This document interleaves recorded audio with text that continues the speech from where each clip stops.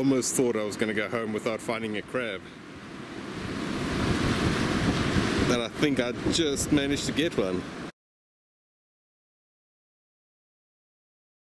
Hi everyone, it's the day after I found that rock with that round hole in it.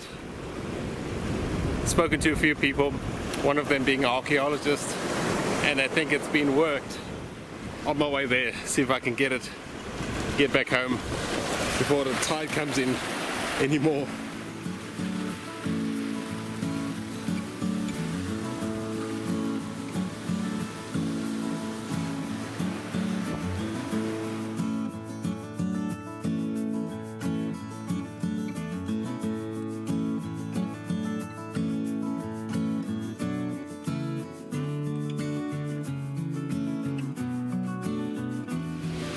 Moment of truth. Let's see if it's still here. Yep, there it is. I didn't think anyone would have been here. you never know.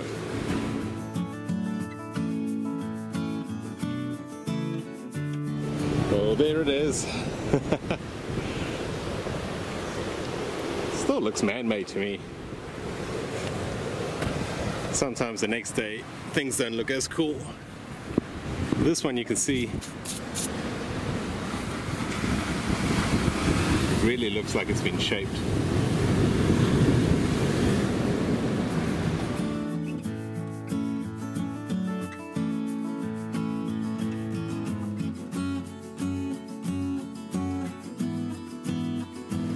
I was just walking past this rock and this little thing stood out to me.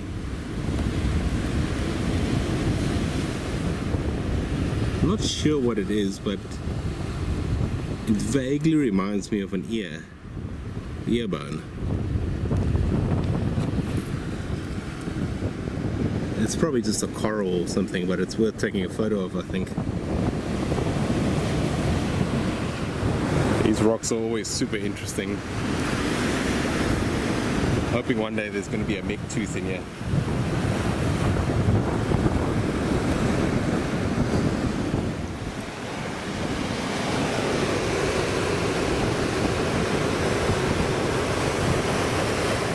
Very small bones. Part of the skull. Yeah, strange. See, there's little bones everywhere. I'm walking over a bit of the exposed cliff and look at these flabellum corals.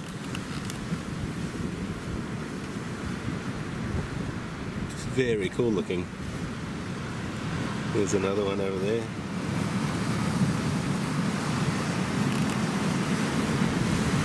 Now all I need is a shark tooth sticking out.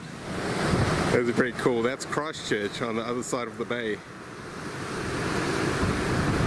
The sunlight's reflecting off some windows over there.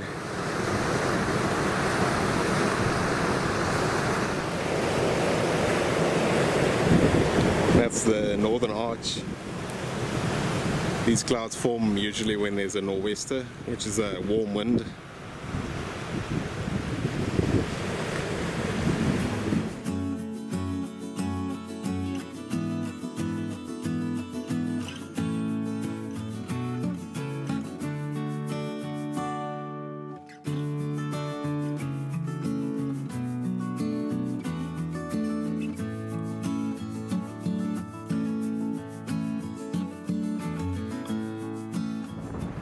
Not fossil crabs, but pretty cool to see so many of them.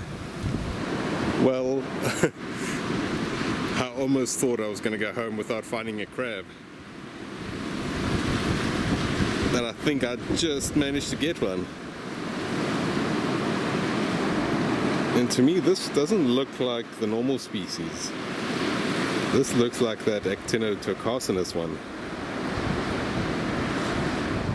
Just because of that spike coming off the top. It just reminds me more of the spider crabs than the two Tumidocarcinus ones. There's only one way to find out and that's prepping it. This is looking really promising. look at how much it's been washed away. Already I've found something that is the biggest tusk shell I've ever found. It's a monster. Got high hopes for finding a bit of moa bone here.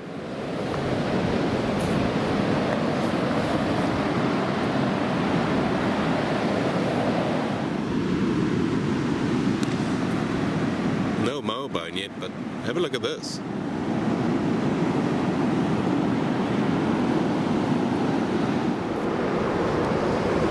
Might just be a weirdly shaped rock.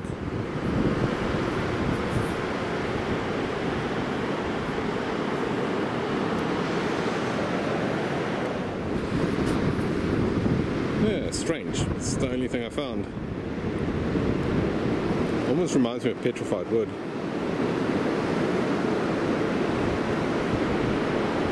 No moa bone.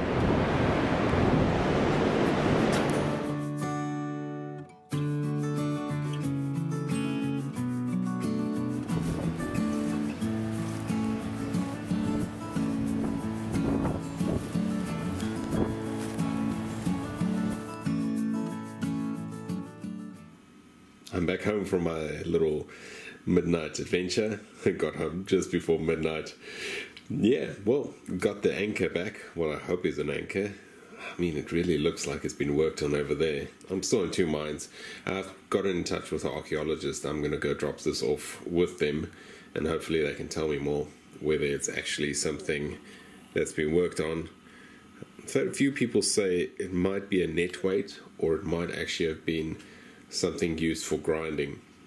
We'll have to wait and see what comes back from the archaeologist. Then, pretty much back at the car, I found this one.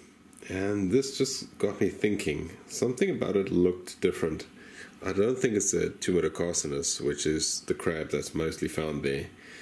Have a look at this crab, which I found in an area about probably about 20 kilometers away. This is an Actinotocarcinus crab. And you turn it at an angle, it's got these spines going off it. I wonder if this could be a crab at an angle with that being the spine. I'm going to have to prep it and see what's inside there, but I'm hopeful that it could be the other species of this Actinotocarcinus. There's two of them.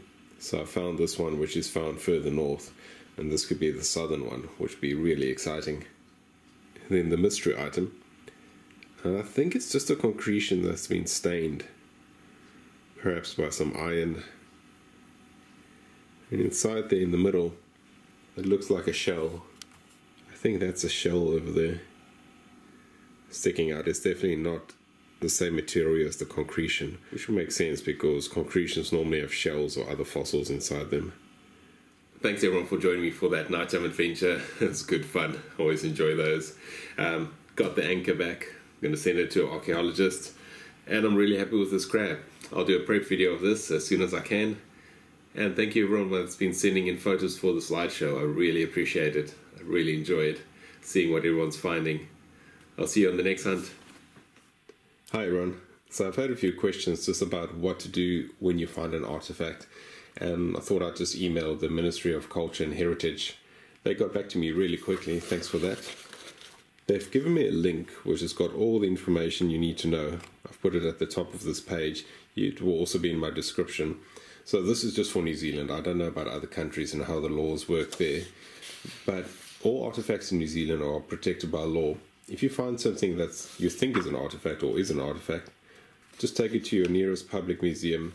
They'll fill in all the forms and help you sort everything out. So there's a quick six step process to it. Basically, they give it a registration number and then try and find out who it belongs to. If no one claims it, they'll give it back to you, um, or the museum might want it for a display piece. I'm taking this one to the Canterbury Museum, and they'll sort that out for me.